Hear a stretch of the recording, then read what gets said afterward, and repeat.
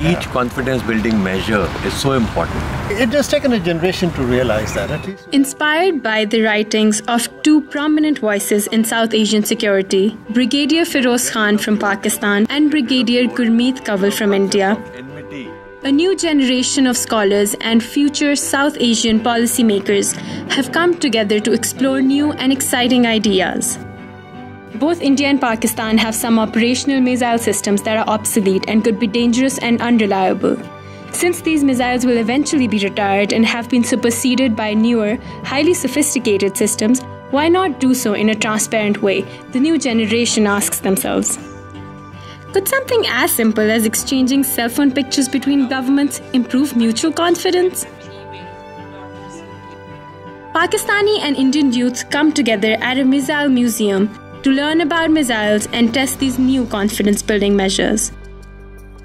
Uh, a missile consists of hundreds of different specialized parts, and each part, of course, has a particular lifespan.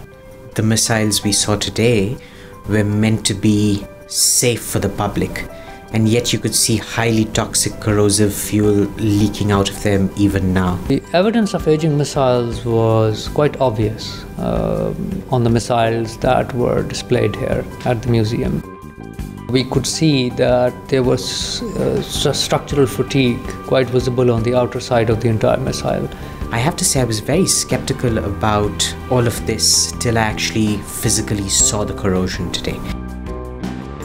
Aging missile is a threat to a country who is going to use that for its own. I saw one particular video when the missile took off on and it exploded and it, the, tra- the, the, the, the height was something like 100 feet.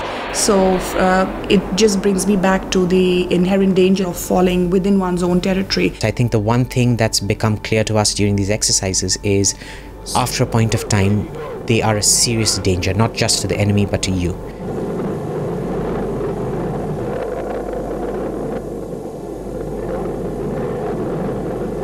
Uh, I myself had no clue about all this when I initially joined this group, but uh, one exercise and led to the other, and I realized that practical uh, expertise and practical demonstrations help a lot. Mission accomplished.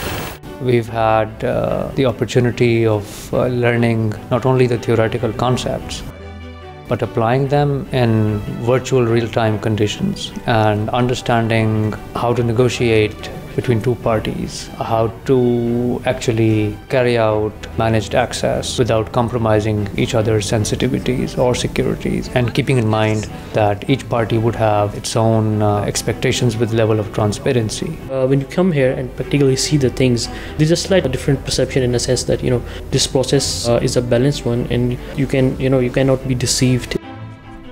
What constitutes a dismantled missile? And how do these missiles look after they've been dismantled and what portions of the missile were actually irreversibly dismantled. There are things about it that you can just look at and say, there's no way that that can be faked in any kind of way. I do see a light at the end of the tunnel. And I don't think so that the tunnel is too long for us to finish now. This initiative does not in any way I repeat, it does not in any way impinge upon either the defense or the deterrence posture of India or Pakistan. It does not compromise in any way the strategic modernization of weapon systems in both countries, given that that is a very significant aspect and both countries realize it. From my interactions with my Pakistani counterparts who have come for this um, particular exercise, they seem very serious about it.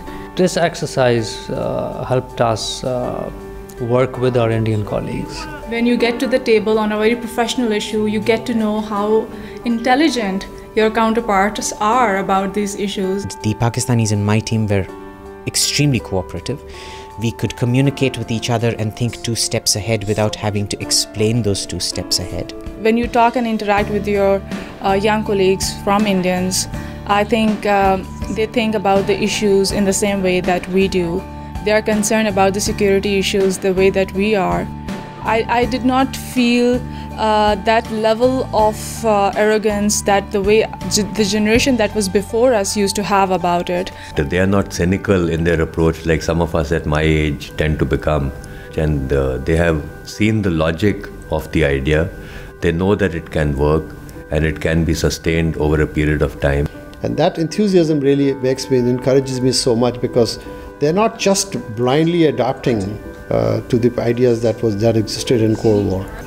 They're going to come up with real some very innovative solutions ahead. The hope is that probably our endeavor would help both countries to realize the inherent dangers, the, the destabilizing factor which these obsolescent missiles can cause, and that uh, it'll be truly beneficial if both countries irreversibly eliminate these missile systems. Probably no other group of youngsters has been exposed to such ideas or real time exercises. It was a unique learning opportunity. A couple of decades down the line, when relations between India and Pakistan are better, this project will be remembered as a capstone project that set the ball rolling for peace and stability in the nuclear field between our two countries.